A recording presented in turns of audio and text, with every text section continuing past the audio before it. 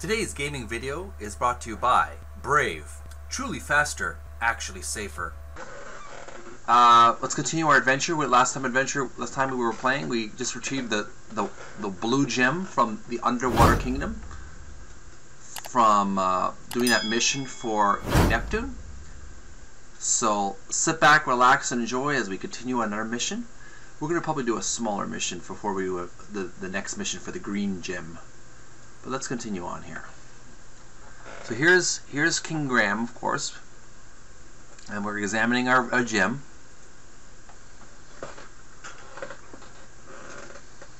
Okay. Alright, so it's a very magical gem. So I think we've got what we need. We don't really need anything right now. We don't need anything around this water area. Basically we've done enough here. So let's see what else we can do to help. And may perhaps complete some missions.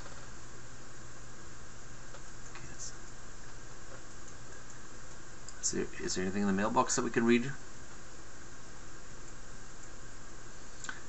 Yes, we, we, we got that message from the church.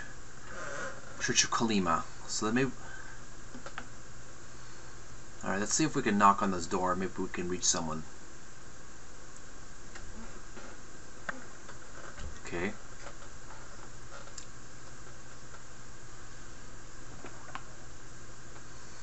Alright, so we can't uh, examine that house right now. So let's move on.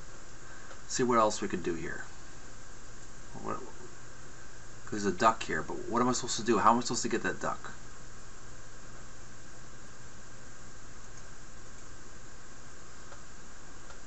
Can I get the... Can I use the cloth on that duck?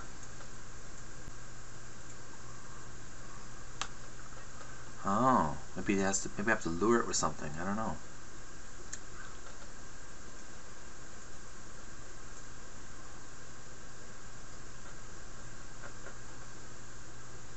Oh.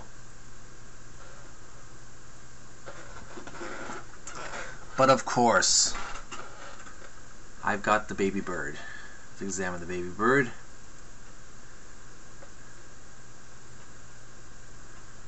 Alright, let's examine a little bit more. Okay, we better save our progress. Little bird. Or baby bird. Baby bird. Alright. Now let's see if we can um, find the bird, its mother. Okay, let's move on here. Let's turn that light off. Maybe we can find that pond. There we go.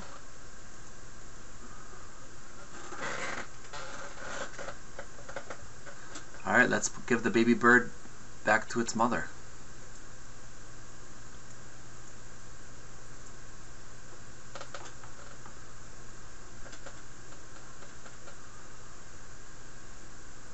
Have it. Whoa! It was a magical bird. It magically grew into a swan. How lovely. And it left a feather. Let's examine the feather.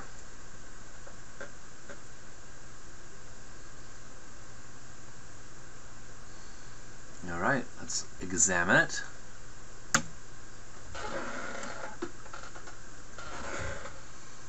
Let's touch it a bit. Alright, save our progress. White feather.